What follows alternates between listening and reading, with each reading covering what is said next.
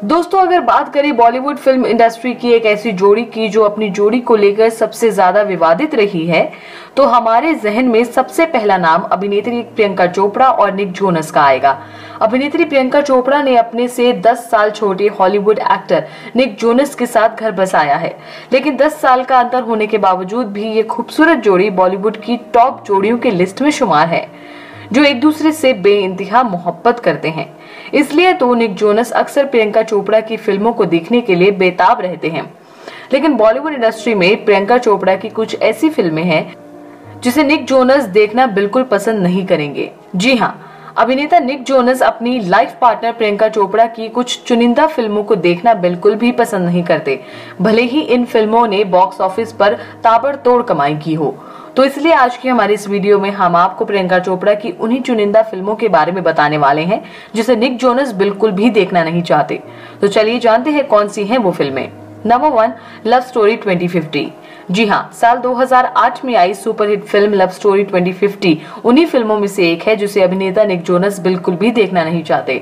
और इसके पीछे की वजह यही है कि इस फ़िल्म में अभिनेत्री प्रियंका चोपड़ा अपने एक्स बॉयफ्रेंड हरमन बबेजा के साथ नज़र आई थी।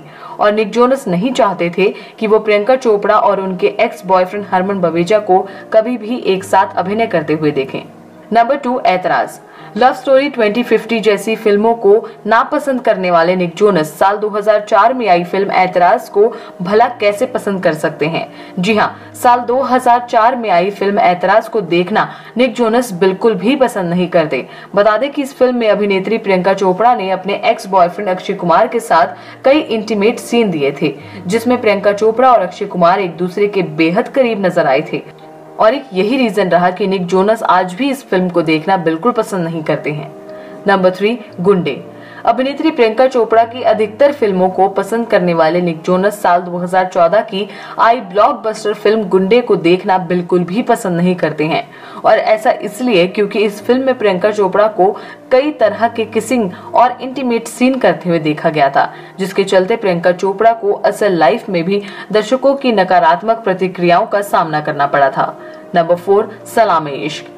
इस बात से तो सभी वाकिफ हैं कि बॉलीवुड इंडस्ट्री के हैंडसम हंक कहे जाने वाले अभिनेता जॉन एब्राहम और प्रियंका चोपड़ा का लव रिलेशन कितने लंबे समय तक रहा था। जिसके बारे में जानने के बाद से ही निक जोनस जॉन एब्राहम से नफरत करने लगे थे। और एक यही वजह रही कि निक जोनस आज भी अभिनेत्री प्रियंका चोपड़ा और जॉन इब्राहिम की सुपरहिट फ़िल्म सलाम इश्क को देखना बिल्कुल पसंद नहीं करते।